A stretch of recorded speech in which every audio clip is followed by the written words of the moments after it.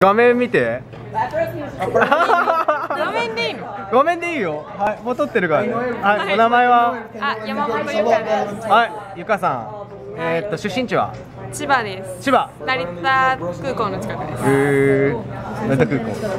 へえ車で30分。お荒れてるらしい。です。荒れてる？らあれ不良荒れてるらしい不良多いらしい。です。荒れてないですよ。荒れてないです一番車ですじゃ。あ、じゃあおすすめは？成田の。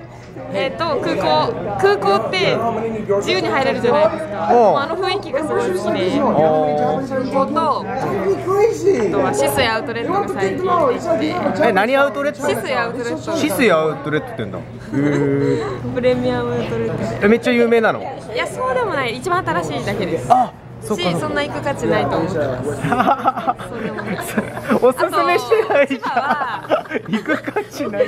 千葉はフラッシーとチーバくんがあ私は激推しです。そうだね。はい。オッケーえーっとそしたら日本文化について教えてください。日本文化考えたんですけどやっぱ礼儀とうん。おもてなしがいいかなって思ったんですけど説明するのがちょっと大変なのでん。私はここにチームワークを取りたいなって思います。お。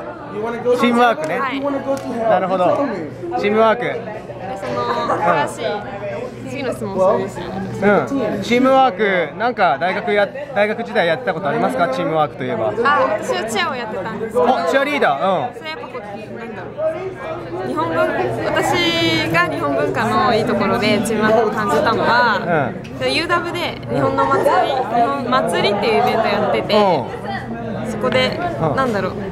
日本語学んでる外国人とかが主催するんですけど、みんな日本文化を一緒になって楽しんでて、で特に太鼓のとダンスのパフォーマンスがすごい日本文化が現れてるし、なんかその日本文化を通してチームワークが一番生まれるなって思ったので、スポーツとは違う何かでそういうのが生まれるのは日本文化の特徴だなって思いました。おおいいですね。わかりました、い。ナイススマイルありがとうございます。バイバ